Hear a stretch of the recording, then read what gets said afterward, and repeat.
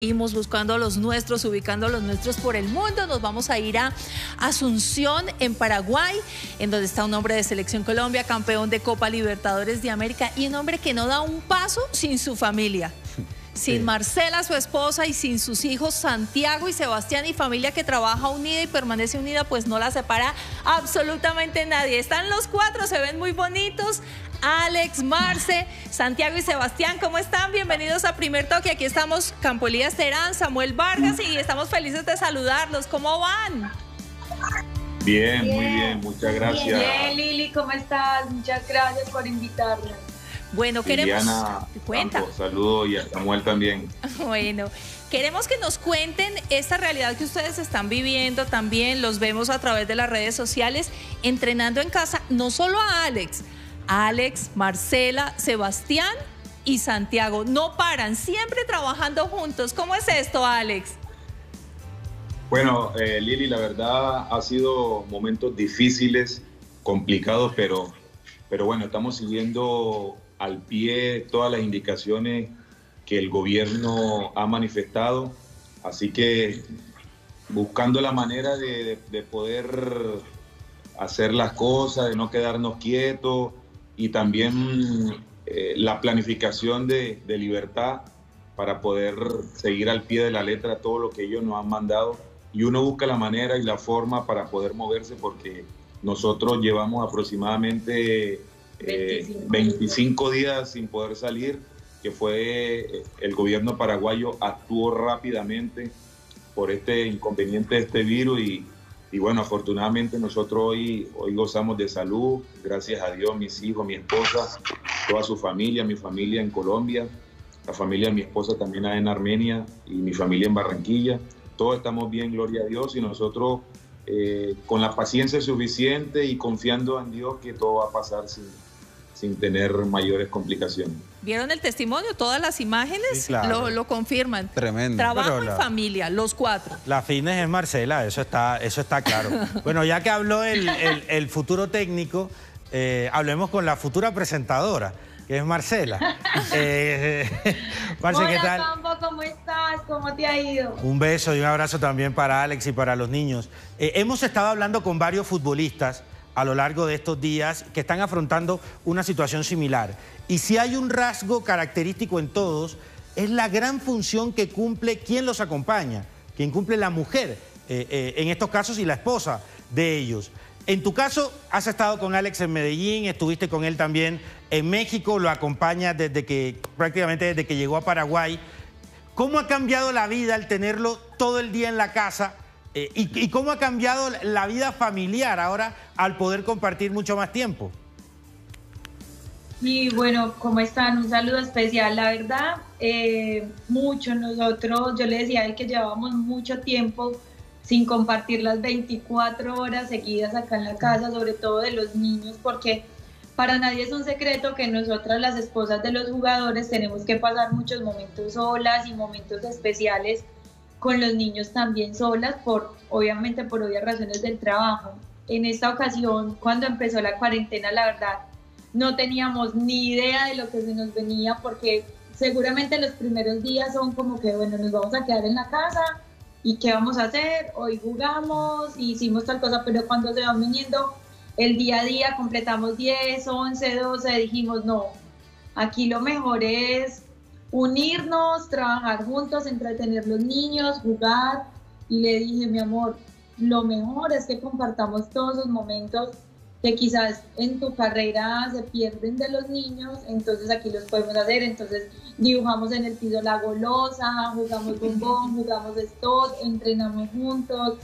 Y siempre entrenamos juntos, pero empezamos con los dos y nos dejan solos, termina el mitad de camino, nos ya estamos cansados y terminamos solos. Pero la verdad, esto ha sido lindo porque le digo, mi amor, hemos aprendido que estos momentos hay que valorarlos y la familia es lo más importante. Cuando nos casamos le dije que le iba a acompañar donde estuviera y así ha sido. Desde Quindío, el 11, viví en Manizales, eh, Medellín, nos fuimos a Monterrey seis meses, regresamos a Medellín, volvimos a México León tres años y aquí voy para año y medio, pero bien, juntos, contentos, felices los cuatro y disfrutándonos, hay que disfrutarnos y que los niños lo disfruten a él y le vean todo su proceso para que aprendan también. Le digo a Santi que esa es la carrera que él quiere, pero que no es fácil. Hay que enseñarle que es una carrera que todo el mundo ve muy linda, pero es una carrera para nosotros que compartimos el día a día con un futbolista, sabemos que es muy difícil, que es una carrera de muchísimo responsabilidad, de compromiso, de entrega. Y bueno, Santi con el papá yo creo que día a día lo, lo ve y de él aprende mucho.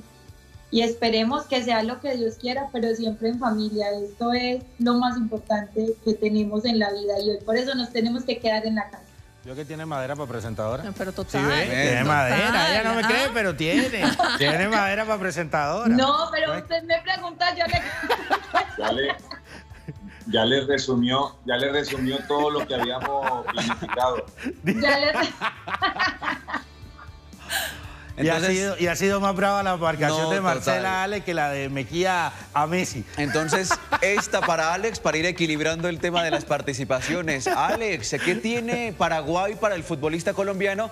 Que diríamos que es un destino de moda. Los vemos en Libertad, en Olimpia, en Nacional, en Guaraní, en Cerro Porteño.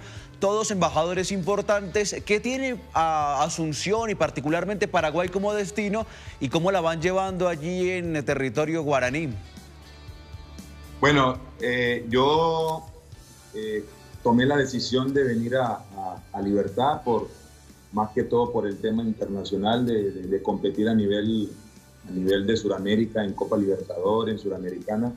Eh, mi esposa, Marcela, no estaba de acuerdo, pero yo me atreví y renuncié a muchas cosas para poder competir, reaparecer otra vez en Sudamérica y, y hoy, hoy, gloria a Dios, estamos gozando de, de, buena salud deportiva, ya quedamos campeón de la Copa, eh, el, club en general es, es, una organización muy buena, eh, todo al día, sin ningún problema, ellos nos han, nos han respondido de la mejor forma posible, eh, o sea, tenemos mil, mil agradecimientos con el Club Libertad por todo lo que nos ha brindado ya mi esposa se dio cuenta de que, de que todo es un proceso, de que todo es una, de que todo es un, el día a día vivirlo y que ella en, un momento estuvo en desacuerdo por mi decisión, pero, pero se dio cuenta y, cada día va entendiendo lo que, lo que hay veces uno tiene que arriesgarse para conseguir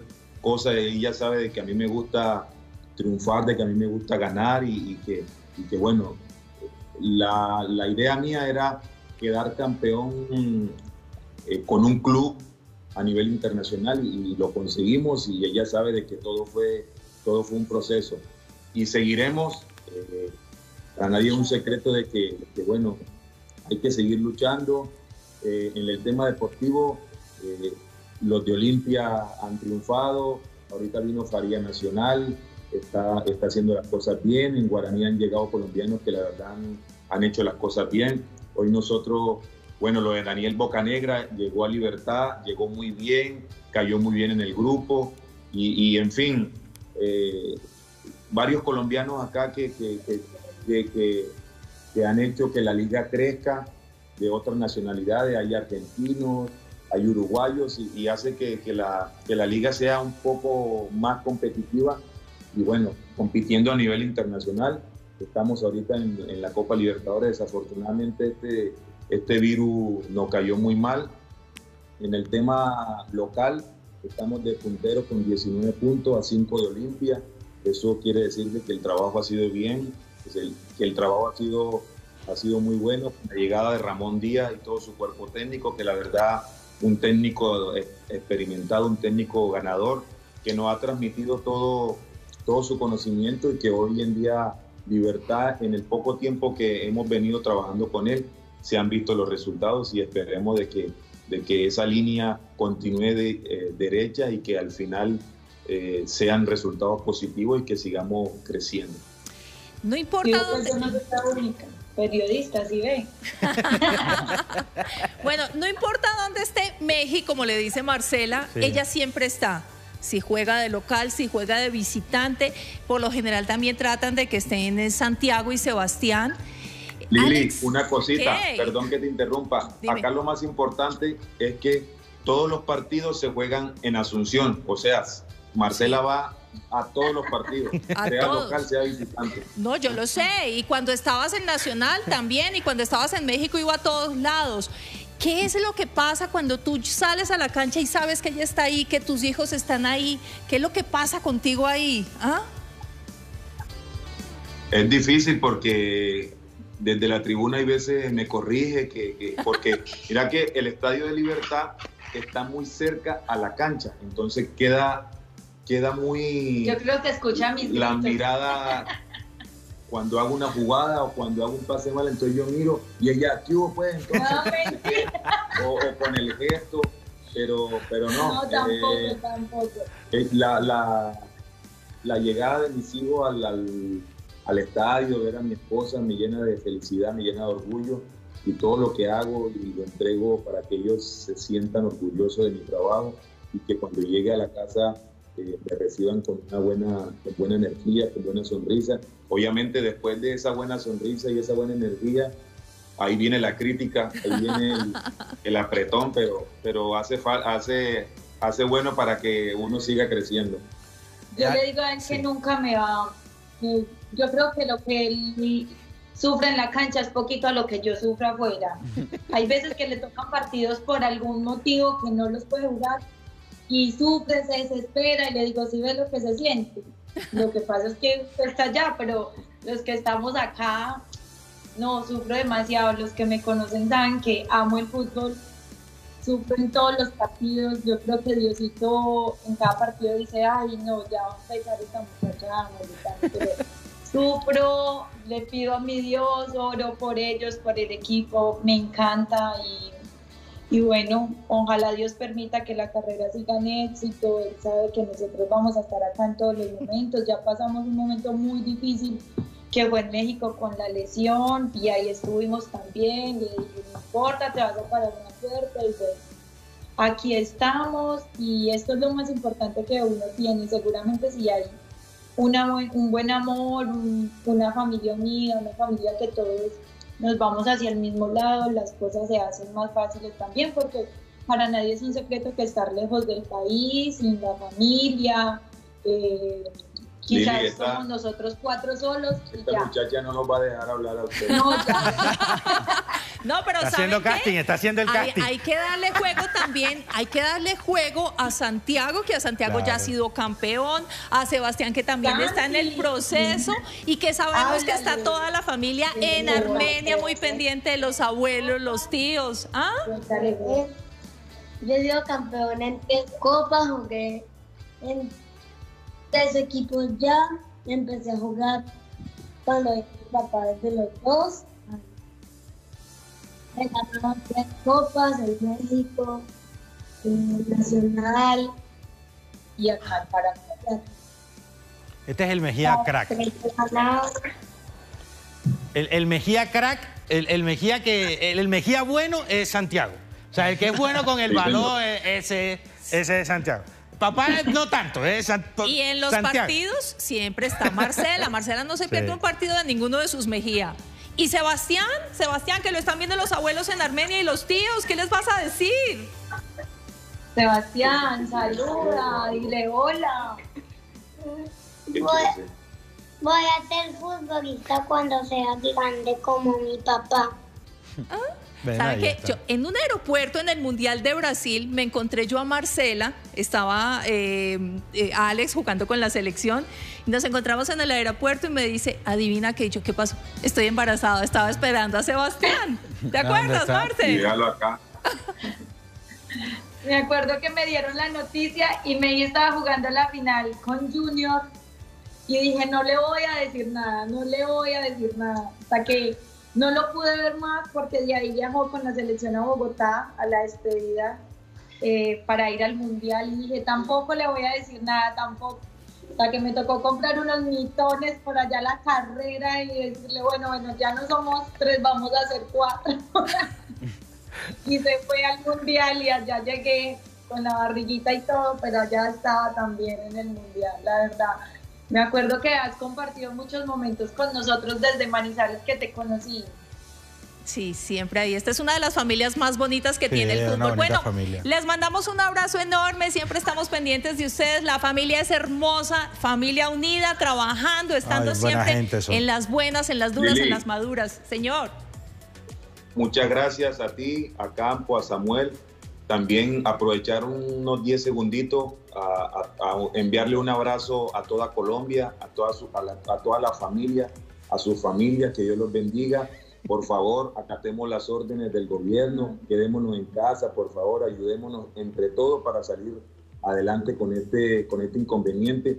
Es difícil el poder quedarse en la casa porque uno entiende que hay familias que están pasando necesidades, pero, pero hagamos el esfuerzo para que todo vuelva a la normalidad y que vayamos a los estadios, el que va a llevar a los hijos, al, el que va a llevar a los papás, a los hijos al colegio, el que se toma el café en la esquina, el que se toma una, una gaseosa, algo. Pero por favor, hagamos el esfuerzo que, que después de la tormenta viene la calma. Así que Dios los bendiga, un abrazo bien gigante. Muchas gracias por todo, cuídense mucho. Gracias. Bueno, aquí estamos. Chao, chao, ya Mejía sabe.